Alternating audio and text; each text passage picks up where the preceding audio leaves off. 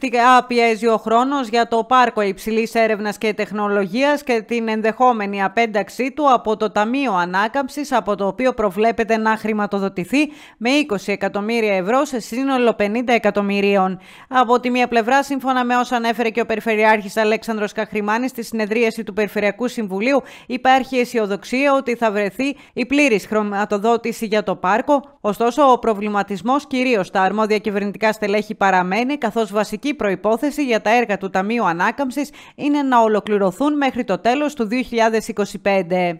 Ο κ. Καχρημάνης αναφέρθηκε στον κίνδυνο απένταξης που υπήρξε και για το έργο του Ιδρύματος Τεχνολογίας και Έρευνας στα Γιάννενα, στο οποίο κλήθηκε να συνδράμει και η Περιφέρεια, προκειμένου να προχωρήσει άμεσα, αλλά και στη δέσμευση του ίδιου του Πρωθυπουργού Κυριάκου Μητσοτάκη ότι το έργο θα γίνει.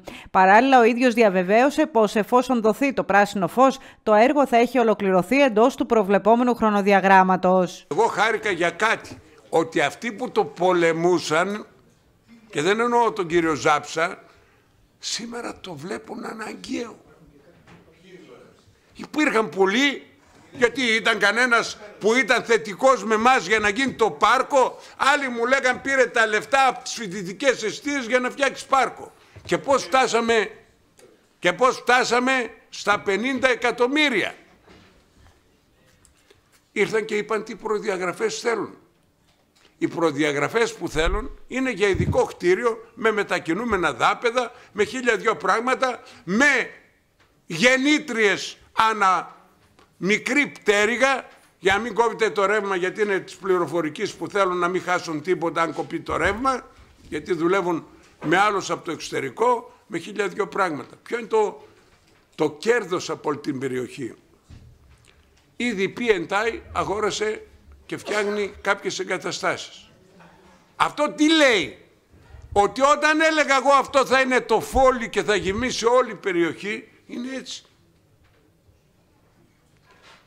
Θα γεμίσει όλη η περιοχή. Αυτή είναι η αλήθεια την οποία εγώ την είδα και τη σέβομαι τόσα χρόνια.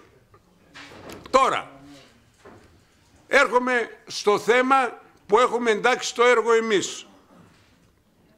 Κύριοι, δύο έργα πράγματι κινδύνευσαν αυτόν τον καιρό να απενταχθούν. Το ένα ήταν το ΙΤΕ, το οποίο θα επιβλέψουμε εμείς για να γίνει. Ήρθε ο αρμόδιος εδώ ο κύριος Χριστοφορίδης και μου ζήτησε βοήθεια. Γιατί, γιατί και αυτόν σου λέγανε ότι θα το απεντάξουμε το έργο. Που αυτό ήταν ένα στάδιο, ένα στάδιο μπροστά από μας και όμως εδώ και δύο μήνες τους είπαν ότι το έργο θα απενταχτεί. Και βάλαμε πλάτη. Όχι μόνο εγώ και οι άλλοι υπεύθυνοι της Υπήρου εδώ και αυτό πήρε το δρόμο του. Τώρα παλεύουμε το κέντρο έρευνας και τεχνολογίας. Ο Πρωθυπουργός είπε ότι αυτό θα γίνει οπωσδήποτε όταν ήρθε την τελευταία φορά. Τι έχουμε θετικό μέχρι στιγμής; Έχουμε ένα έγγραφο της ε, Ευρωπαϊκής Τράπεζας Επενδύσεων που λέει το 25% εμείς το δεχόμαστε να το δώσουμε αλλά θα σας δώσουμε μέχρι τέλη του έτος, αυτό είναι από τέλη Ιουνίου, ότι ε, να συνέλθει το Συμβούλιο. Θέλει ένα, αυτό το είχε πάρει ήδη το είτε παλιότερα.